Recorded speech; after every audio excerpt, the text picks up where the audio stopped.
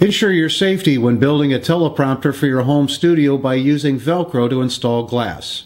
Hi, I'm Scott Simon from Provergent.com, and in the next few minutes I'm going to show you how I use Velcro to build my teleprompter.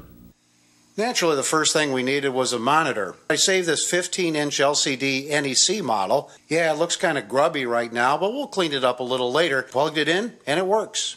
After finding the monitor, I was wondering if I'd find a case or a box big enough. Years ago, I bought a cutlery set. I still have the cutlery set and I still have the box. It was sitting in a corner in the basement. And we have, well, we're going to set our monitor in, which we'll show you in a little bit, and then the other steps to make a homemade teleprompter. Okay, let's get started. First step is get your box with a lid on it. Second step is to draw the lines on the top of the box where you're going to cut. Leave a margin of an inch and a half to inch and three quarters so that your glass is secure when you put it on. Third step is to cut out the top of the box. I didn't show you this in the video because I wanted to be precise when I did this, but the tool that I used was a recessed razor blade. Push out the razor blade, cut along the lines, take out that part. Next step is applying the Velcro. You don't need to use glue underneath the Velcro because 3M makes a great glue for this. I did use some Gorilla Glue, but really you don't need to. Once you put this Velcro on, it will be secure. And now you have the top of the box where your glass is going to go.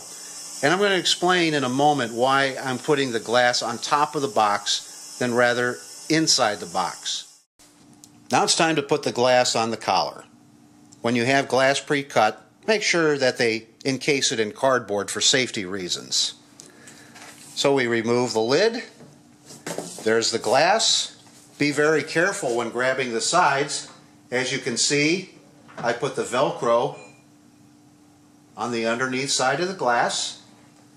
I pick it up very gently. Take your time. Line it up.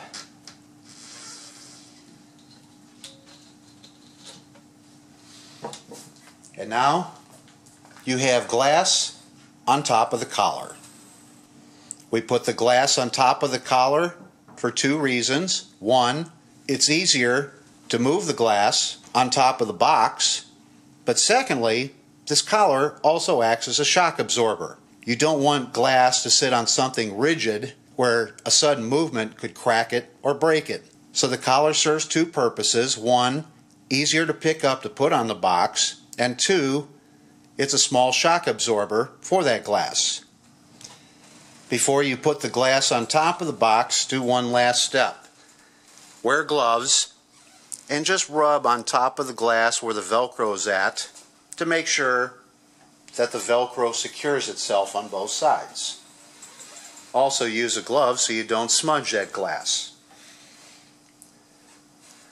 Now that that's done, it's secure it's easy to pick up, and now the last step is to put it on our box. Again, because it's glass, be very gentle with it. Take your time, stand over, line up.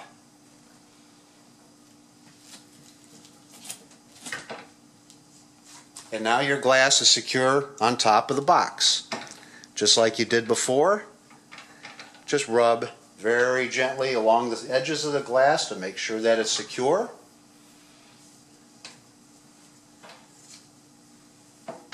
Take your time doing this, there's no rush. And now you have a lid with glass and a teleprompter. Last step is to prop up your teleprompter glass at a 45 degree angle. To do that, we're going to use a wooden dowel the length of it is easy to figure out. Measure the depth of your lid and divide by 2.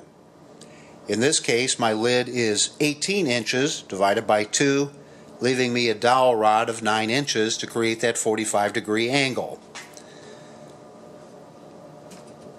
We lift the lid, we put the dowel in, we prop it up, and there we have our teleprompter glass angle. Now another reason why we put the glass on the outside rather than the inside. If something should happen to the glass on the outside and you need to replace it, it's so much easier to grab it using the collar that we built with Velcro to remove it this way. If you put the glass on the inside, you have to go inside the box. You have to manipulate your hands to the edges of that glass, which might cut you. This is so much easier. Doing it on the outside, just grabbing it, pulling it off, replacing it with a new glass in case the glass gets scratched or cracked. To protect the edges of the glass, and what I'm going to use is 3 quarter inch weather stripping. I'll just apply it on the edges, on the outside. That way your hand won't go into the cutting edge of the glass. So when you're done securing your glass on top of the collar, on top of the box, line it with weather stripping for safety. Our teleprompter box has been sitting on a piano bench. Now, the reason why I use a piano bench is this is what I sit on to do my narrations. And it sits higher than a regular chair and it gives me better posture and better video presence. This is something I'll explain in a future video for you. Here's my studio setup.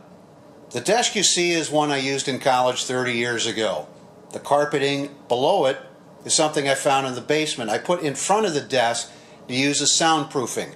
Where my camera sits right now is where I sit doing narration, so when I talk forward at the desk, sound waves that are directed toward the floor won't bounce off concrete. It's insulated with that carpeting.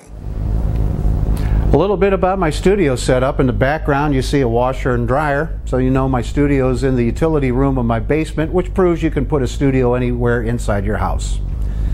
Now setting up our teleprompter, you know I sit on a piano bench which sits higher than a regular chair, so I need my teleprompter to be elevated as well.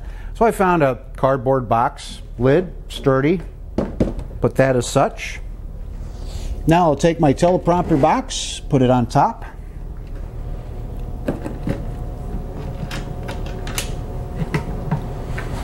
I'll prop that up like this for now. Now if you remember earlier in our video, our LED monitor, it's about four or five inches deep. But the face of this, the depth of this box is about 10 inches, so I have to find something to elevate the LED monitor inside. Well, I found another cardboard lid in the basement. I'll put that in. I'll take my LED monitor now.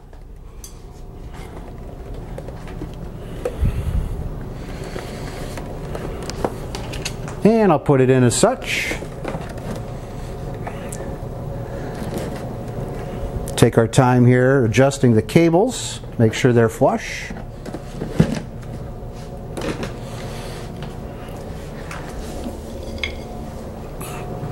Then we'll take our wooden dowel rod, insert it so.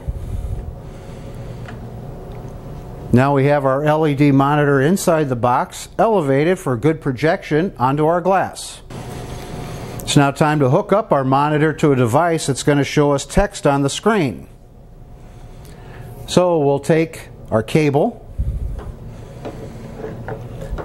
and we're going to move it to the other side of the monitor away from the dowel. And here's our laptop that we'll use to feed our text. We'll open the lid, get it connected.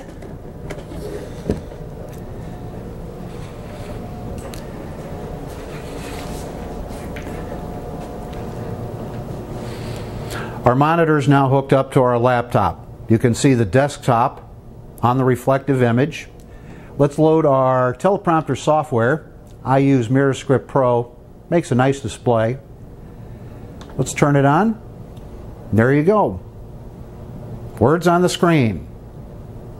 I don't have the backdrop over the camera for this demonstration, but when you finally set this up, you put the camera behind the glass and then you take some black cloth, drape it over the back of the teleprompter above the lens, and you'll be able to see your teleprompter script much more easily.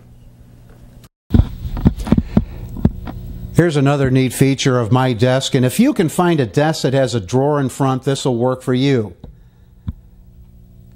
I like using a lavalier mic, they're okay, but I have a Rode video mic and the clarity is just excellent. So what I did was Pull out the drawer. Put the Rode video mic inside. Point it to where I'm going to sit. And where I'm at right now is about two and a half feet away, where I sit when I do my narrations, and just listen to the sound. Finally, here's a great reason why to use a piano bench. One, it'll help your posture and video presence that I'll show you in a future video. But a piano bench opens up and it's a great place to store stuff. I can put adhesives, duct tape, USB cable, got my measure, got another tripod, screwdrivers, you name it. You can store anything you want in there. One place you don't have to worry about losing things. And when you need them, all you have to do is stand up, open the lid, and you have it at your disposal. I hope you enjoyed this presentation, and I hope you'll come back for more. There's a lot of great videos on the internet how to build a teleprompter for your home studio. I want to take time out now to thank my new friends at the Great Frame Up in Creve Missouri, Brian and Randy. They're the ones that cut the glass that I use in my teleprompter and for this video. I also have a free report for you how to better read your teleprompter when in your home studio. For that, all I want you to do is now go to my website, www.provergent.com, sign up for my free email reports. Until next time, happy video.